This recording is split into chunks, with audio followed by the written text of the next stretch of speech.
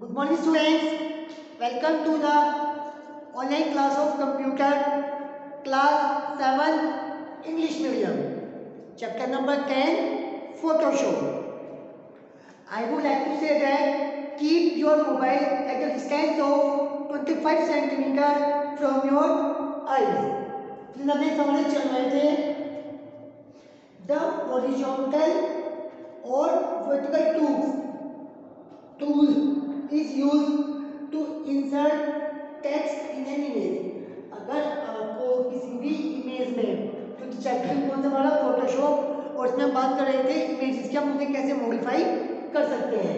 तो अगर आपको इंसर्ट करना है किसी भी टेक्स्ट को तो आप यूज़ कर सकते हैं हॉरिजॉन्टल या वर्टिकल टूल इससे आप टेक्स्ट को इंक्लूड कर सकते हैं. The selection tool moves the area we want to view window selection मतलब होता है किसी भी चीज़ को सिलेक्ट करना। तो जब आप प्रोग्राम बन वो सॉरी इमेज तैयार कर रहे हैं, आप इसकी सहायता से केवल उसी पार्ट को इंक्लूड कर सकते हैं जिसे आप चाहते हैं अपनी पिक्चर में इंक्लूड करना। एक्स्ट्रा वर्ड स्टार्ट हो जाते हैं define that text tool this tool has to add text in an image आप इस टूल की सहायता से किसी भी टेक्स्ट को जो है अपने उसमें इंक्लूड कर सकते हैं इमेज के अंदर। चीज़ होता है क्या होता है, आपका टेक्स्ट होता है।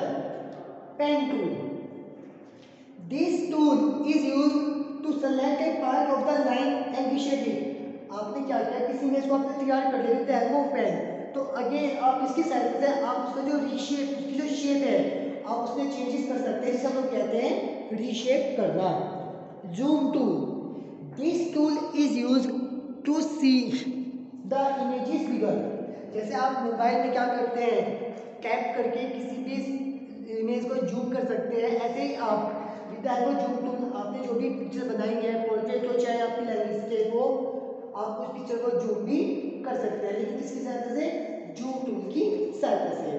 तो डियर स्टूडेंट्स ये सभी वर्ड आपको याद भी करना है और उतारने साथ साथ इस चैप्टर में जो भी आपकी फोटोशॉप है, यानी जो भी आपके टूल बॉक्स के अंदर टूल्स हैं, वे सभी आपको याद भी करने हैं।